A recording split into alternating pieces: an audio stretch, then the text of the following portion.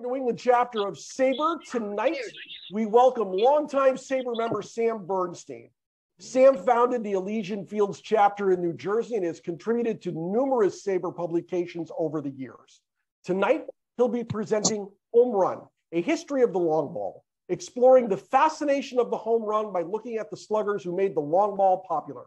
Sam, welcome to Northern New England, even if it is snowing like mad out here.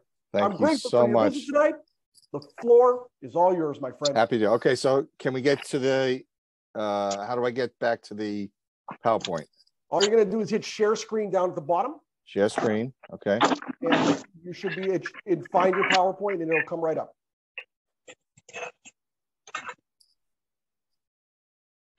All right. Does everybody, everybody see it? Yep. We're all set. Okay. All right. All right, let's hope this works. Let's hope the video works. Let's hope everything works. And if, if you can, if you can't hear the videos, uh, let me know. Okay, and we'll we'll try and work that out. Okay, so why do we have this fascination with the home run? Is it the most exciting uh, play in baseball today? Why do we love to witness the crack of the bat, the trot around the bases, the sneer from the batter, and the sigh of disgust from the hurler's face? Home runs have accounted for the most consequential changes in in close games. We cheer great home run hitters, especially those who are setting new records. And we remember those records more than any other in a game overflowing with statistics. From the very beginning of organized professional baseball, the debate between putting the ball in play versus the long ball raged. Jared Diamond, in his book Swing Kings, commented on slugging in the early development of baseball. Quote, while they were rare, home runs were an attraction from the very beginning. The ability to drive the ball far, to send it soaring high in the sky was sexy. It was exciting. It was a sign of immense strength and power, of great masculinity and virility. Even back then, chicks dug the long ball. From 1876, when the National League was formed, until today, there have been 22,534 major league players, 235,700 games, 4,156,519 innings pitched, and 327,412 home runs. In 1901, 16 teams in the National and American League hit a grand total of 455 home runs, an average of about 28 per team. In 2019, that same National and American League, consisting of 30 teams, walloped a record 6,776 home runs, an average of almost 226 per team. In the past six full major league seasons, an average of 5,872 four baggers were hit each year.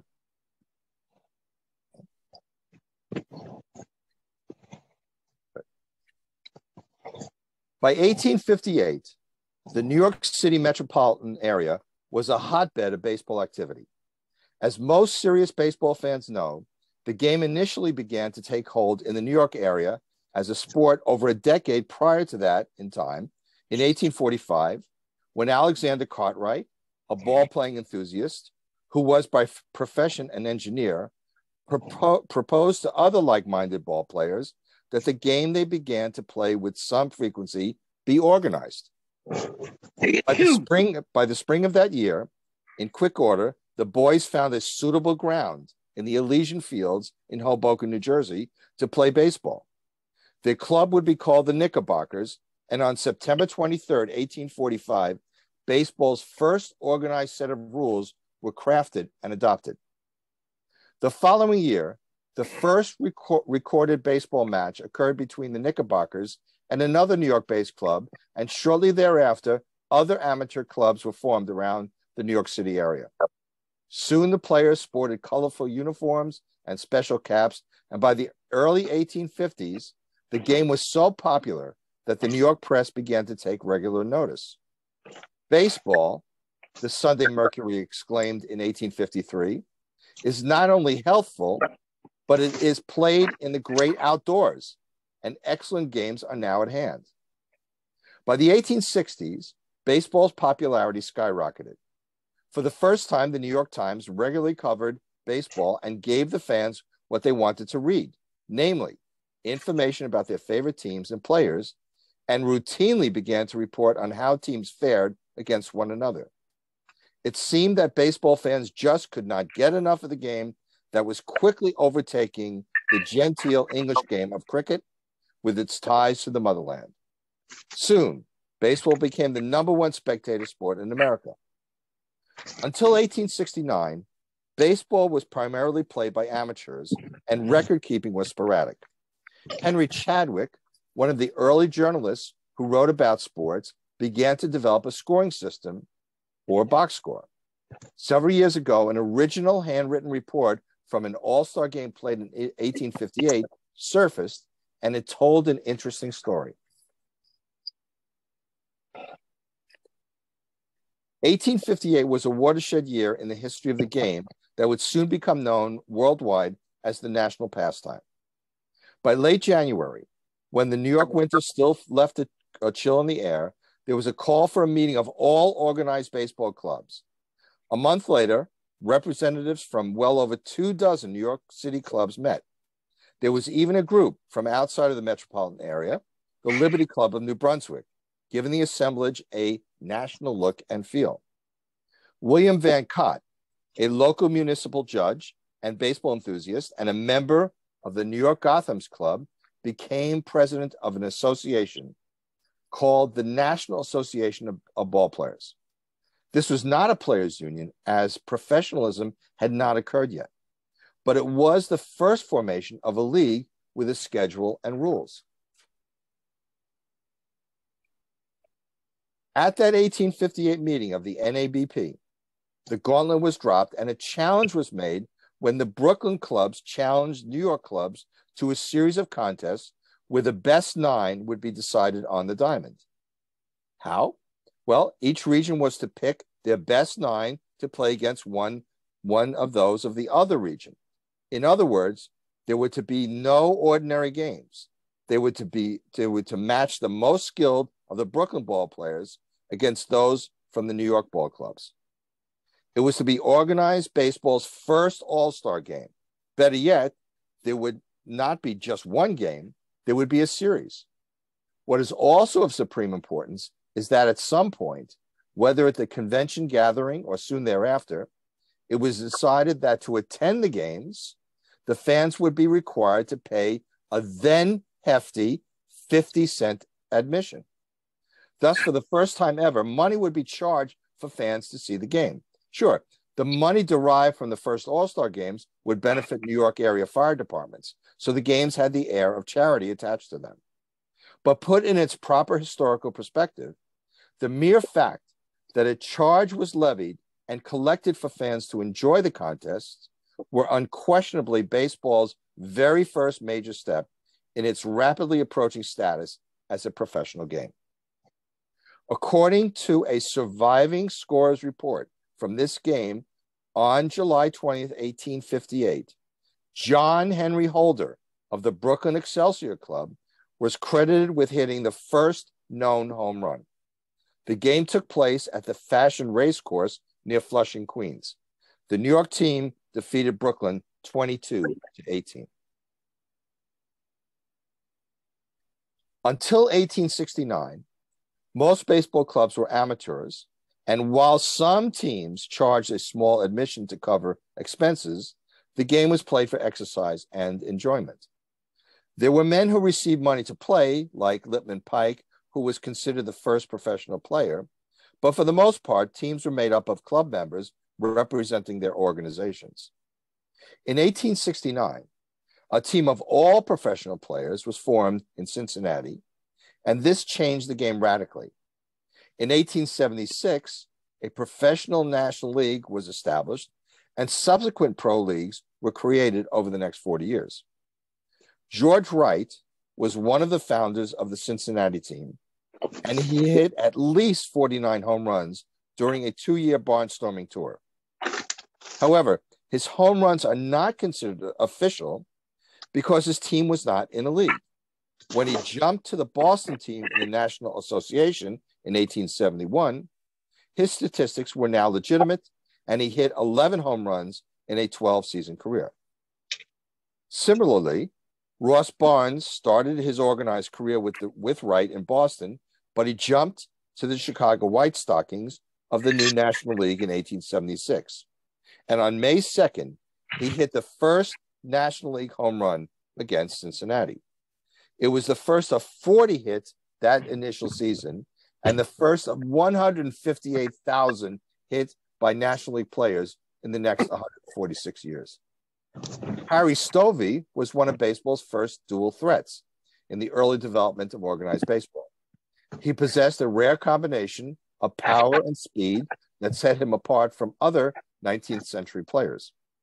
He was also an innovator on the base path, base, base paths, introducing sliding techniques to the game that had never before been seen before, never before been seen. In his 14-year career from 1880 to 1893, he belted 122 RBIs. So, in the era between 1876 and 1919, a batted ball was considered a home run where it landed, since there were no foul poles in left or right field. In some ballparks, there wasn't even an outfield fence. The rule read the umpire should judge the ball fair or foul according to where it disappears from view. In this era, there were only two umpires in the crew, so without foul poles, many fly ball home runs were called foul. Prior to 1920, once a winning run had crossed the plate to end the game, the batter was only credited with the number of bases needed to accomplish this. For example, if you hit a game winning home run in the bottom of the ninth inning with two on base and your team losing by one, you were only credited with a triple. In 1968, a commission determined that 48 hits should be reclassified as home runs. Babe Ruth was now credited with an extra home run, giving him 715. This caused an uproar and the change was rescinded. Baseball historians claim that since the, this rule was in effect at the time, these were not home runs. Prior to 1931, a home run was credited if it bounded into the stands fair. This rule was gradually changed to a ground rule double. The American League ended its bound rule before the 1929 season and the National League before the 1931 season. So, for the 1920 season, a home run was counted as a fair ball if it passed over the outfield fence in fair territory, but not where the ball landed. Foul poles were then being installed, and by 1929, these foul poles had to be at least 25 feet above any fencing. Game winning home runs were now scored as home runs. The spitball was allowed, and putting substances on a baseball was, were, also banned. Teams could register a pitcher who had thrown a spitball before 1920 so that pitcher could continue the practice. Burleigh Grimes continued to legally throw that pitch until he retired in 1934. Outlawing the spitball was advantageous to the hitters. Also, if an umpire determined that a baseball was scuffed or discolored, it was removed from the game. Prior to 1920, one baseball was usually used for the entire game. In 1885, outfield fences had to be at least 210 feet from home plate. In 1892, this was increased to 235 feet, and in 1926 to 250 feet. However, these distance, distances had little effect on the explosion of home runs starting in 1920. Baseball historians commonly referred to the period starting in 1920 as the lively ball era. During the First World War, good quality yarn was, was used for the war effort, and baseballs were manufactured using inferior yarn. After the war, baseball manufacturers used a higher quality yarn, which allowed the baseballs to be wound tighter. especially when manufacturers began using machines in their process. The effect was uh, astounding. In 1919, 447 home runs were hit. In 1920, 721 home runs. And in 1921, 1,130 home runs. And I gave you also some additional years too, so that by 1925, you had 1,736. The lively of baseball, baseballs may have also been the result of a feud between the American League's founder and president, Ban Johnson, and John McGraw of the New York Giants. From 1913 to 1922, the Yankees were forced to play in the Polo Grounds, home of the Giants. McGraw was not a gracious host. Legend has it that the acquisition of Babe Ruth by the Yankees for the 1920 season made the Yankees a bigger draw than the Giants. Seeing an opportunity to increase attendance and stick it to McGraw, Johnson had the baseballs wound tighter, thus enhancing Ruth's popularity.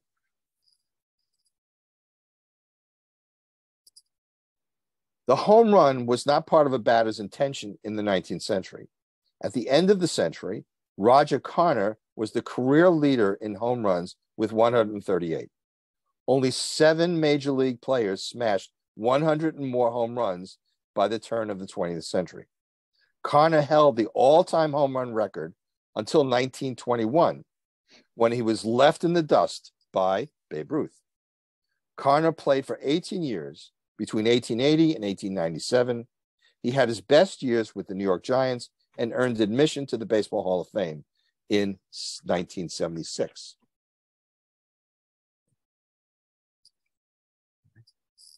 George Herman Babe Ruth continues. Oop, oop, oop, wait. Okay, wait.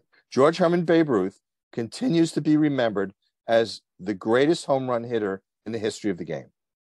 He led the American League in home runs 12 times and astonished the baseball world by becoming the first player to hit 200 home runs, 300 home runs, 400 home runs, 500 home runs, 600 home runs, and 700 home runs in his career.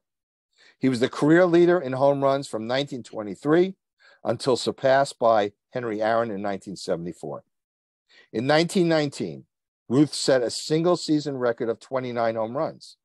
In 1920, now with the Yankees, he topped that with 54 home runs. In 1921, he set a new record with 59 and surpassed that in 1927 with 60. That record lasted until 1961 when Roger Maris hit 61 home runs. On May 25th, 1935, at age 40, in Pittsburgh, Ruth hit his last three home runs one of which became the only home run ever hit over the right field bleachers in Forbes Field.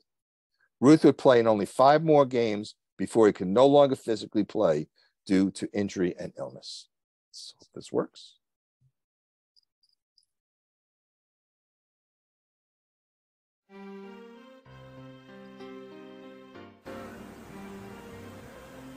On September 30th, the next to last day of the season, and needing just one more home run, he faced Tom Zachary of the Washington Senators. The first Zachary offering was a fast one which sailed over for a called strike. The next was high. The Babe took a vicious swing at the third pitch ball and the bat connected with a crash that was audible in all parts of the stands.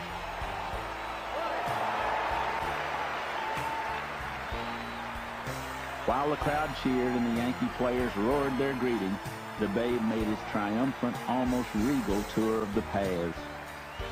And when he embedded his spikes in the rubber disc to officially homer 60, hats were tossed in the air, papers were torn up and tossed liberally, and the spirit of celebration permeated the place.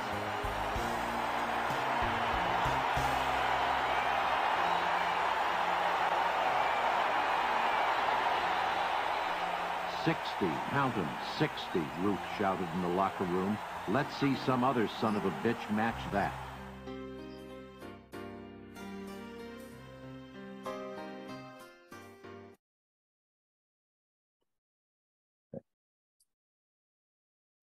In 1947, the Pittsburgh Pirates installed an inner fence in a portion of Forbes Field, reducing the distance down the left field line of the ballpark by 30 feet. The purpose of the fence was to assist the team's newest acquisition, Hank Greenberg, in his ability to hit home runs. The area between the new fence and the outer wall became known as Greenberg Gardens. Greenberg had intended to retire after the 1946 season. The Tigers' ownership released Greenberg after Hank was photographed wearing a Yankee uniform during a war era exhibition game. The Pittsburgh Pirates asked Greenberg what he wanted to agree to join the Pirates for the 1947 season. Greenberg stated that he wanted to be the first $100,000 player. The Pirates granted his wish. The Brooklyn Dodgers, Dodgers visited Pittsburgh early in the season. Jackie Robinson singled, and Greenberg and the Dodger rookie met for the first time. Green offered to help Jackie, stating that he too had been subjected to racial, racial prejudice when he entered the league in the 1930s. Maybe Hank Greenberg's greatest home run was hit on the last day of the season in 1945. He was discharged from the Army in 1945, having served almost four years in the service. He had not played in a major league game since early in the 1941 season. On July 1st, 1945, Greenberg rejoined the Tigers and hit a home run.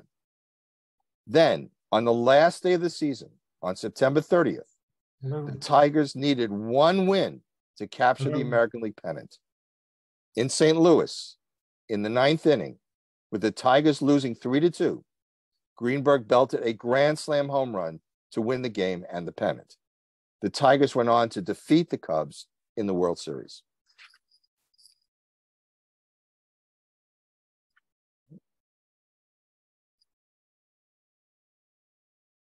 Roger Maris got a bum deal from baseball. He was an average player on a couple of second division teams in, in the late 50s. Then in 1960, he was acquired by the Yankees to patrol right field in Yankee Stadium. The Yankees saw something in this kid from Fargo, North Dakota, because he exploded the plate, slugging 39 home runs in 1960 and an amazing 61 in 1961 to break Babe Ruth's record he had held for 34 years. But baseball had no intention of damaging the Bambino's image. No, sir. Ruth only needed 154 games to hit 60, while Maris got an ex- extra help by playing in 161 games. Years later, Maris's place in history was reestablished. Then the steroid boys came to knock Roger back to earth. Mark McGwire hit 70 in 1998. Sammy Sosa hit 66 the same year. Barry Bonds set the bar very high in 2001 when he knocked 73 over the wall. And last season in the Bronx, Aaron Judge set an American League record with 62 home runs, topping Maris by one. Even today, Maris, who won two consecutive MVPs, gets little respect and no Hall of Fame consideration from veterans committees. He played in the shadow of the great Yankees like Mantle and Yogi Berra. But Roger Maris doesn't need to defend his credibility. McGwire, Bonds, and Sosa are not in the Hall of Fame either. Here comes Roger Maris. Just standing up, waiting to see if Maris is going to hit number 61. Here's the windup. Fastball hit deep to right. This could be it. Way back there. Holy cow, he's hit. Roger Maris. Holy cow, what a shot.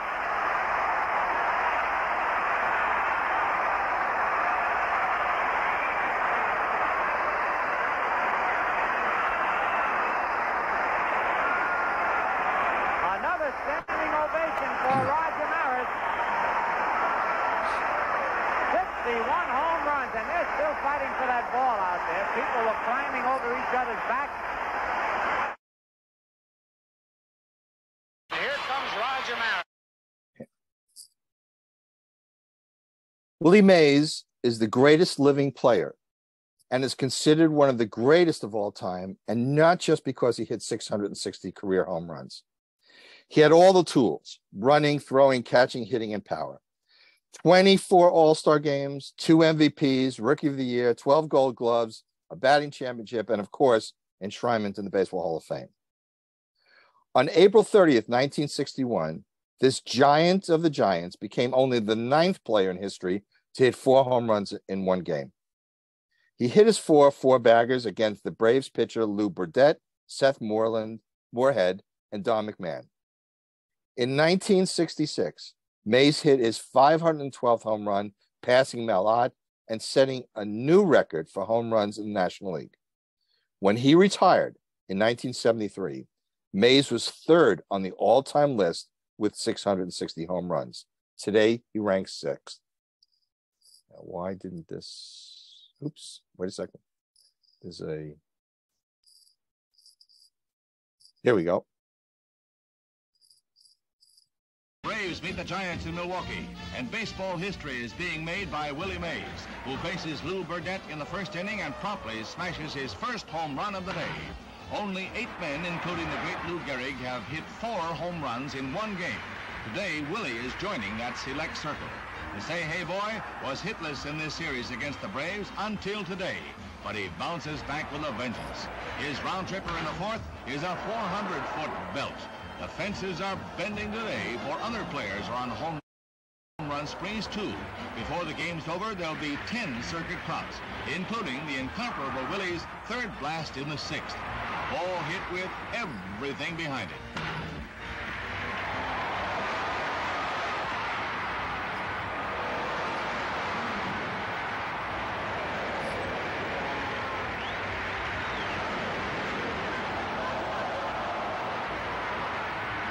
Milwaukee crowd is all for Willie now as he steps in the eighth and proceeds to poke his record-tying homer into the stands.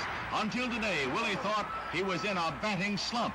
Well, he found the cure by scattering baseballs into the bleachers.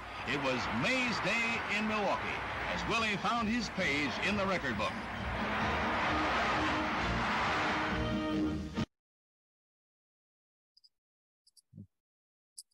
Henry Aaron never hit more than 47 home runs in a season in his 23 year career with the Milwaukee and Boston Braves. And I'm sorry, Milwaukee uh, and Boston Braves. And yet, when he and Atlanta Braves, and yet when he passed Babe Ruth's record of 714 home runs in April of 1974, he did it with amazing consistency. I'm sorry, he never played for the Boston Braves. It was Milwaukee and Atlanta Braves. Um, he did it with amazing consistency. In his prime, from 1957 to 1973, he failed to hit 30 or more home runs only once. This Hall of Famer was a league MVP, named to 25 All Star teams, won the 1957 World Series, won two gold gloves and two batting titles. Aaron's 755 home runs ranks second on the all time list. From 1986 through 2007, Barry Bonds was a prodigious, prodigious slugger. In his early years with the Pittsburgh Pirates, he averaged 25 home runs per year, winning nat- the National League MVPs in 1990 and 1992. In 1993, the San Francisco Giants signed Bonds to a free agent contract, and for the first few seasons, Bonds continued to slug the, the long ball, helped in part by favorable wind conditions, first in Candlestick Park and then at AT&T, now Oracle Park. Through 1999, Bonds averaged 38 home runs a year at Candlestick. After watching Mark McGwire and Sammy Sosa grab the headlines in 1999, Bonds allegedly began to use banned human growth hormones. As he got older, his numbers skyrocketed. Bonds hit 49 home runs in 2000 and set a new record with 73 in 2001. From 2000 to 2005, Bonds averaged 51 home runs a season. He set a career record of 762 home runs when he retired in 2007. Bonds won four consecutive MVP awards in addition to the two he earned in Pittsburgh.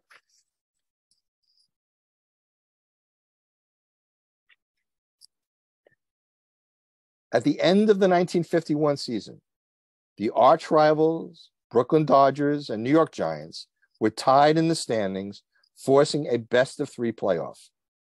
In the third game with the series tied, Bobby Thomson of the Giants hit a game winning three run home run at the Polo Grounds that is known as the shot heard round the world. This most dramatic home run was seen by millions on television, heard by millions more on radio, including thousands of servicemen in Korea listening on Armed Forces radio. The Giants lost to the Yankees in the World Series. And no history of the home run would be complete without mentioning the splendid splinter Ted Williams of the Boston Red Sox. He had 521 career home runs and over 2,600 hits with an, an astounding 344 lifetime batting average. In the prime of his career, he was called to active service as a Navy pilot and served almost five years in World War II and Korea. On September 28, 1960, we bid adieu to the kid, but not before he hit a home run in his last major league at bat in the bottom of the eighth inning against Jack Fisher of the Orioles. Tony Kubek, Tony Kubek's last game as a Yankee was on October 3rd, 1965 at Fenway Park. His ninth inning home run off Dick Radatz was his last at bat in the major leagues, and he is the only Yankee to hit a home run in his final career at bat. Kubek was a rookie of the year, a three time All Star, and played in six World Series, winning three. He retired at the age of 29 due to back, back injuries. Joe Carter of the Toronto Blue Jays was the last player to end the World Series with a walk-off home run in the 1993 Game 6 with the three-run blast off Mitch Williams of the Phillies.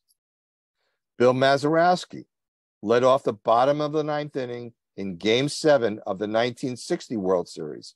With the game tied 9-9, Maz hit a game-winning home run off Ralph, Ralph Terry that landed over the left field wall.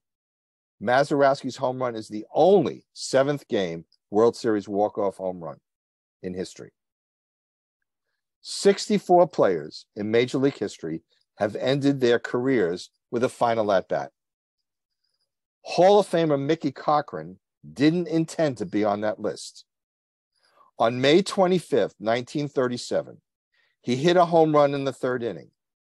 The next time he came up, he was beamed and suffered a fractured skull. He never played in another game.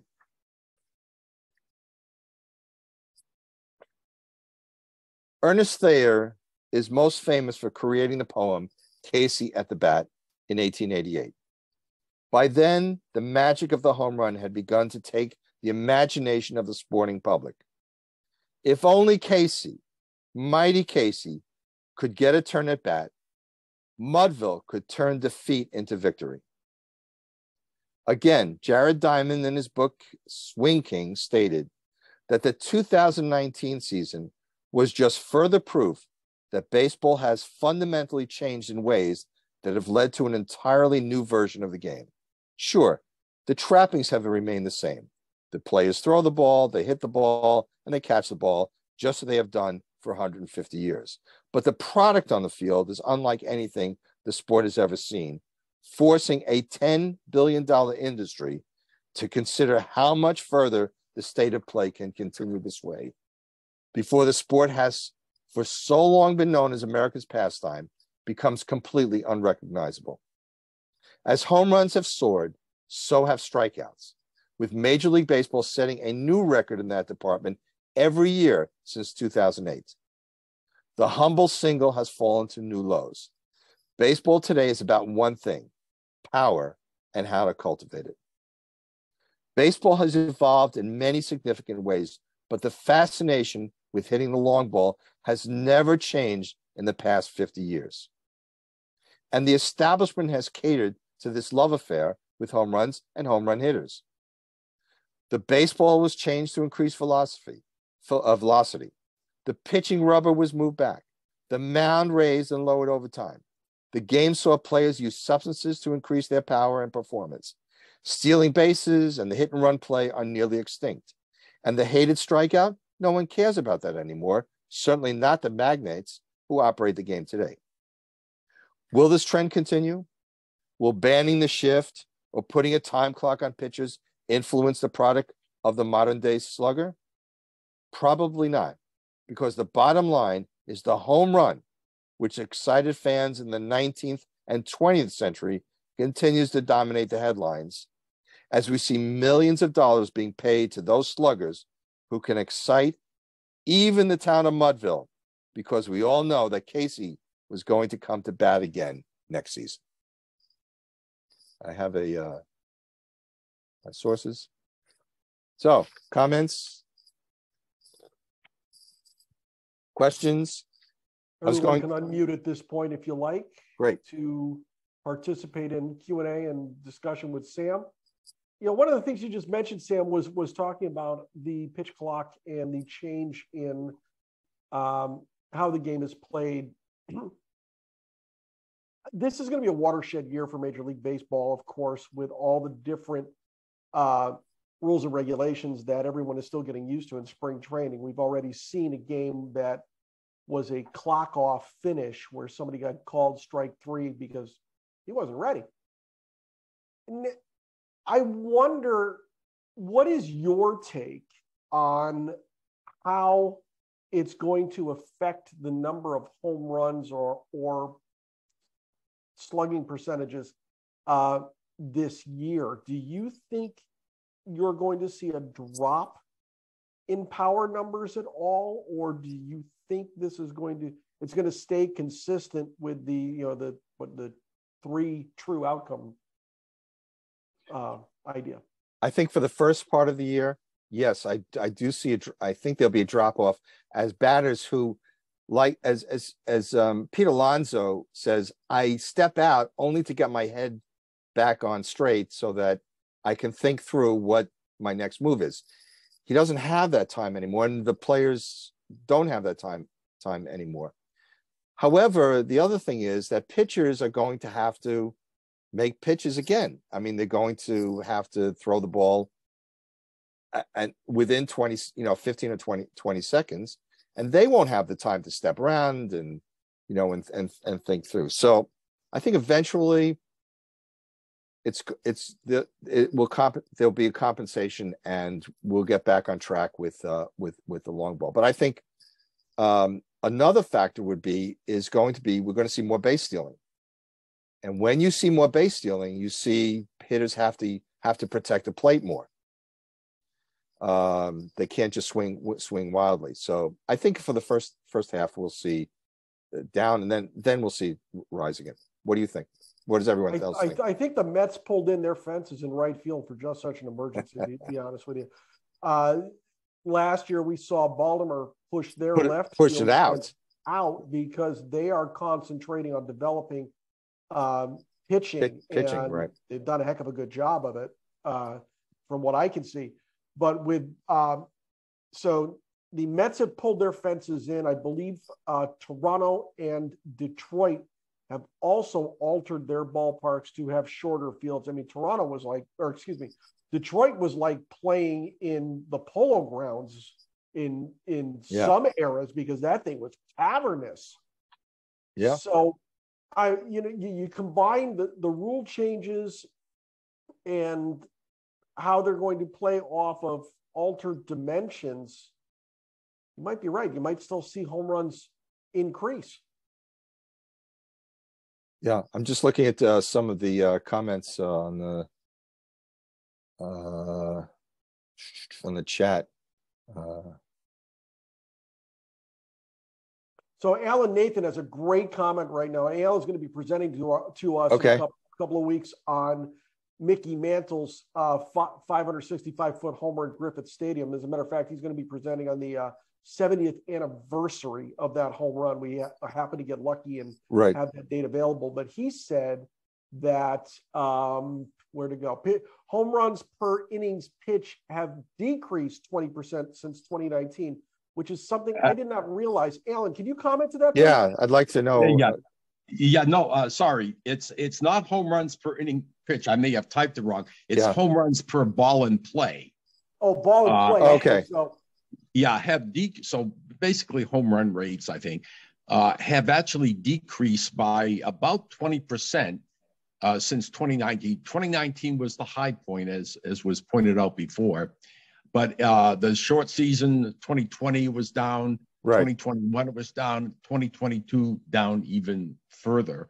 So already that's starting to correct itself. Uh, my own prediction is that uh, it'll uh, it may stay steady, but I don't think it's going to. In, I actually don't think it's going to increase. Because I think that uh, be, because of uh, uh, outlawing the infield, the extreme infield shifting, I think is going to have an effect. I think with the infield shifting, um, basically you're you're taking away the sort of the line drive that just clears the infield, um, and so it uh, that uh, uh, uh, what that is can do that you know since you don't have that kind of contact hit, uh, you might as well just go for the fences. And I think I think this is going to correct itself to some extent. So I, I, a, a, a, a good deal of uh, a good fraction of the increase in home runs we saw in uh, prior, you know, up to, to 2019 is is really a change in batter behavior. They're they're literally going for the fences because yeah. the Right. the because the single has been taken away. Right, because there's been a fundamental change in the way that hitting coaches approach batters with about launch angle. And Right. that has been a fundamental change over the last several several years. If you look at Aaron Judge when he first came into the high minor leagues, he changed his launch angle and began to and and that was and and that was been going on for the last that's a trend. Yes, I agree. Hi, Sam. Um, yes. Question about the Ruth era. Um, and I don't know if I have a good question formulated in my head. I'm just thinking out loud of moving from the dead ball era to the home run era, and how, of course, the you know the story we've always understood is nobody had seen Ruth hit anything farther, and all of a sudden, money signs were in their heads and things like that. You know, like we got to make him from a pitcher to a hitter because of this great potential. But yet, you look at the stadiums that were built at that time that were still pretty well new. There wasn't anything really considered, I don't think, a hitter's park other than Fenway, I suppose. Um, how did we go from that dead ball era to all of a sudden home run was a thing? I'm curious Right. about that. Um, what you know about that? Well, the first thing that comes to mind is the, the baseball itself. They made fundamental changes in the baseball, but they changed the baseball. In the past, baseball would get muddy, brown, and it was, and remember, games usually started what, three o'clock in the afternoon. So by the end of the game, it was dark and the balls were dark and it was hard, hard you know, it was much harder to see it. But now they're changing the ball. The ball's white again and it stays consistent o- over the course of a game. So that was, I think, the factor. Plus, I think, look at what Ruth, who Ruth was. He was larger than life. Yeah. Players wanted to emulate him. They wanted to, they saw the home run, people cheering and stuff like that. So there was kind of a, he's, you know, he set a standard. And I think that's why we began to see in the 20s, you, as I showed you in the chart, how Right. home runs began to change. What do you think? And, and well, and yet just a decade before, Cobb was the one, and completely different style and philosophy of hitting. Right. Um, and and I guess around 1940, 1950, you still had people arguing about who was the greatest of all time. Right. Um, Right. And there's a great story that Cobb, uh, and if you read, and I highly recommend uh, uh, The Swing Kings, there's a story in The Swing Kings that Cobb poo pooed Ruth and said, I could hit home runs. And this was, I think, in 1923 or 24. He went out and he hit three home runs in one game and two the next. And he says, I can do it if I wanted to, but that's not the game. He said, that's not the game. I know if someone, I don't remember the data, but but I know Yeah. that, but but that's story in in in in that book. thank you. Very interesting. Um, I was going to throw out, and I told Bruce, uh, if if people remember the the most famous home run they ever witnessed uh, in person or on television or listening on the radio, if you'd like to share, you know, your favorite home run, that you know, anyone have any favorite home runs? My favorite story about the home run. I'm sorry, Donna. Do you want to go? I've yapped no, no, enough. go ahead. Go, go, go. Okay. so uh, my favorite story about home runs, and and some of us on the on the call tonight have heard this story. Uh, my first ball game was September 14th, 1975. I saw Milwaukee and Boston. Uh, Bill Lee started for the Red Sox and gave up what he thought was Henry Aaron's final home run. It was number 745. it was the only home run he ever hit at Fenway Park.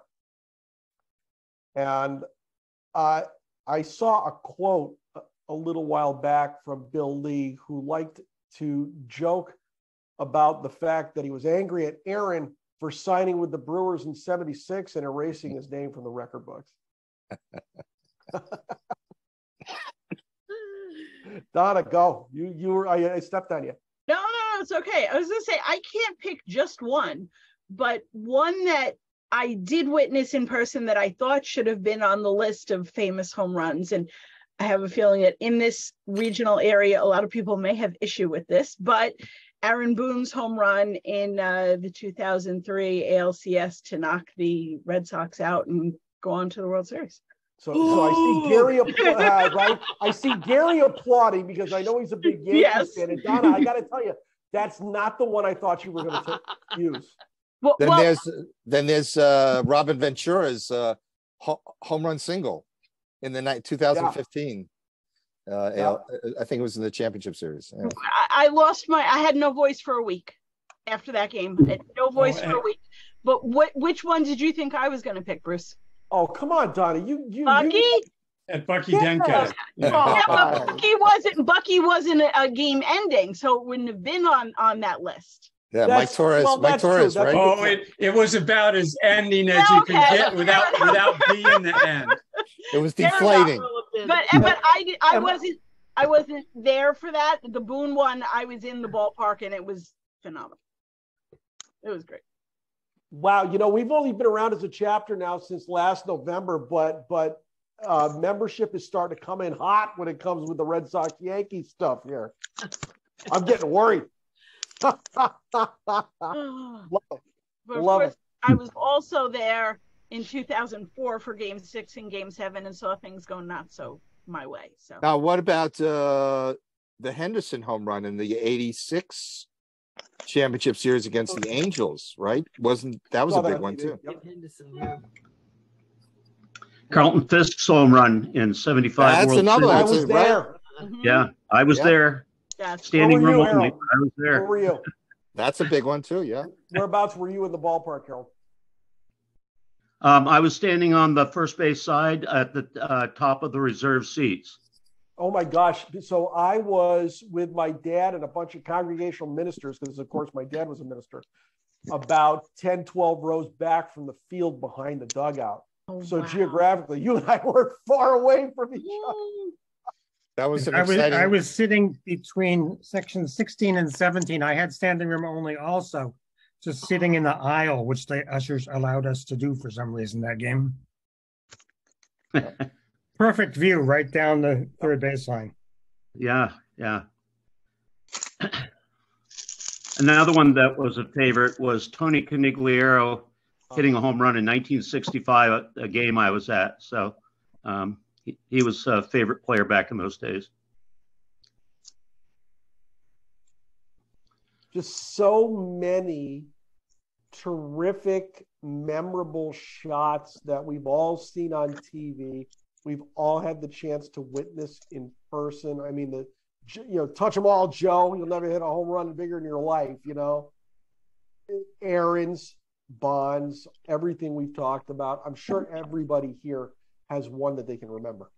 Another f- one that was one of my favorites was seeing Daniel Nava in his first Oh, at bat in the major Oh, league get a grand slam.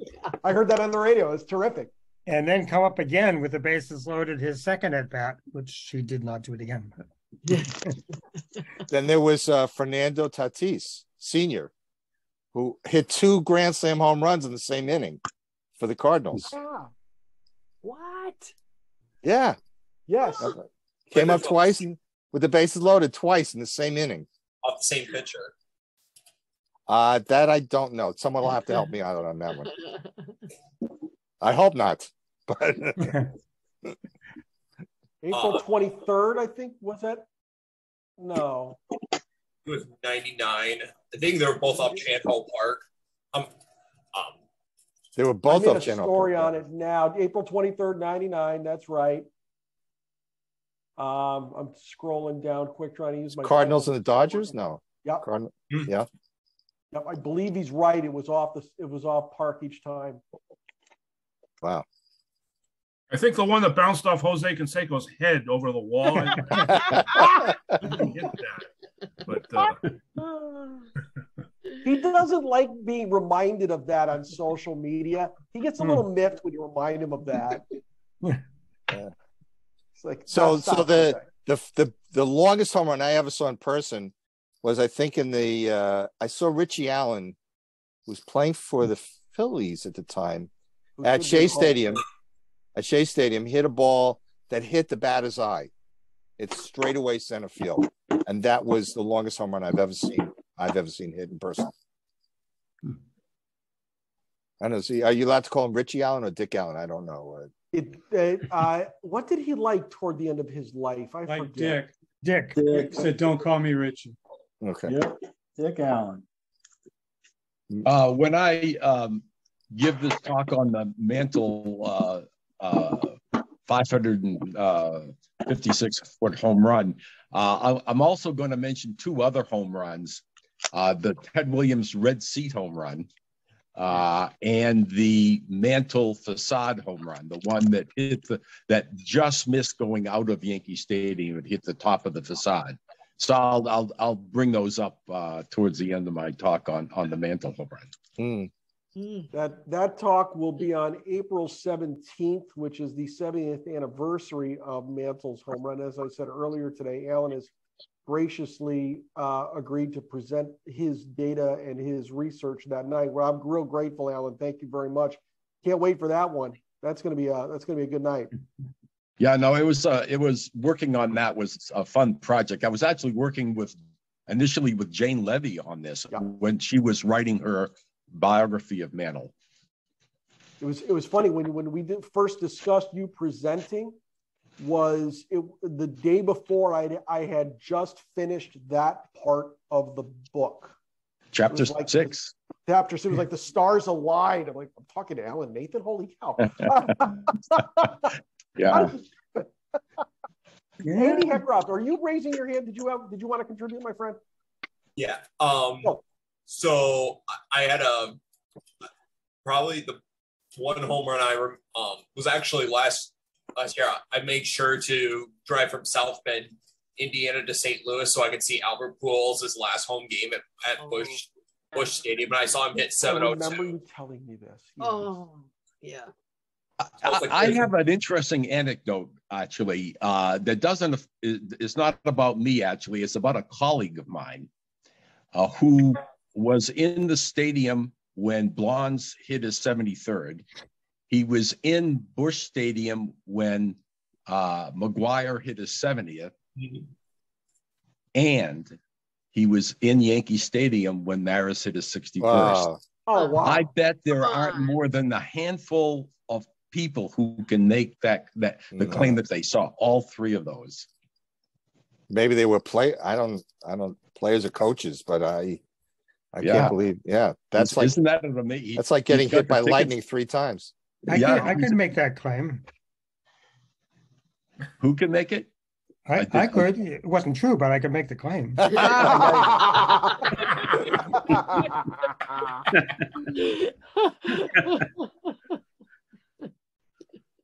I don't know. Bill Nolan is everywhere. I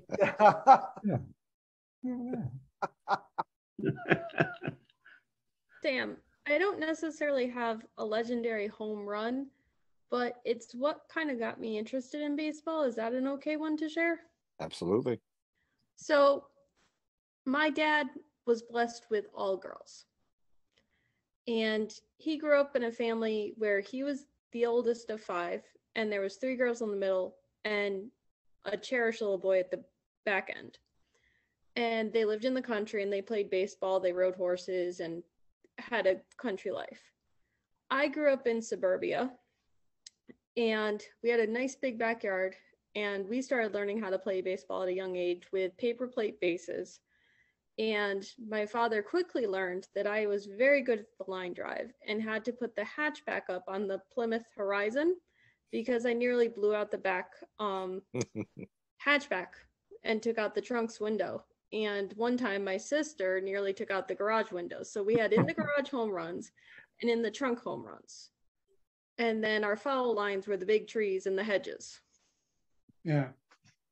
And the neighborhood kids would all come Oh, okay. and Didn't eventually like you know dad kind of retired and was like the umpire sitting on the back steps watching us play baseball And that was what about five years ago, ten, six years. ago?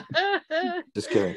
Longer than you would believe Now, now, now, now, come on, now, come on. That's what that's that's that's my wife. Uh, she, she's not. I, I hate to put it this way, Molly. She's not that young. Come on. Oh, okay, okay. I'm just kidding.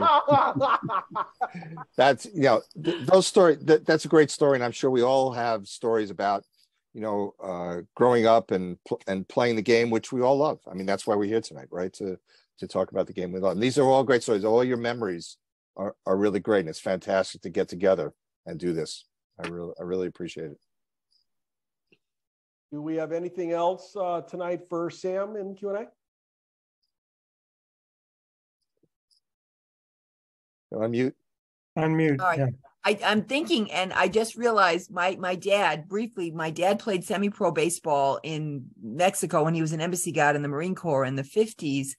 But what just jogged my memory was when he was a Marine on Saipan in 1945. They had pickup games among the different squads on the island after the, the the fighting had ceased, and that was the beginning of the last push to Japan and they had a pickup game and they had the local guys calling the game and my father went up to the ballpark eh, to the plate and hit the ball and he recalls that his buddy said um my father's last name was was sermon and he said sermon nonchalantly knocked one into the cane fields which was the home run barrier in Saipan. And I can attest to that because I was stationed in Guam and visited Saipan. And my dad, years later, came and visited me while I was on active duty in Guam. And we went back to Saipan and found that area of the island where that had occurred. So that's kind of the famous home run that I kind of cherished. And not like Mm. thinking of Major League Baseball, but he, that was our start with baseball, was that story, which was Yeah. very, so anyway. I, I didn't include in my talk tonight any inside the park home runs, which is a whole a whole nother thing. And I'm Which is- reminded, yeah, I'm reminded that uh, for those of you who are into little trivia, that while Babe Ruth hit the first home run in Yankee Stadium, he did not hit the first World Series home run in Yankee Stadium. Hmm. That was Casey Stengel in, Hmm. in an inside the park home run. So I think it was 1923. You know, All right. Well, this has been just fantastic. Uh, th- what, this what a great presentation, some great conversation. Uh, Sam, I want to thank you very much for doing this this evening. It's been a, just a delight to have you into the Northern New England chapter. I really, really appreciate it. Uh, next week, noted SABR author David Krell will join us. He's going to be presenting his new book, Do You Believe in Magic? Baseball in America in the Groundbreaking Year of 1966. Monday night, seven o'clock. Join us, won't you? Good night, everyone. everybody. Thanks for coming. Thank you. Good night, everybody. Night. All right. Good seeing you all.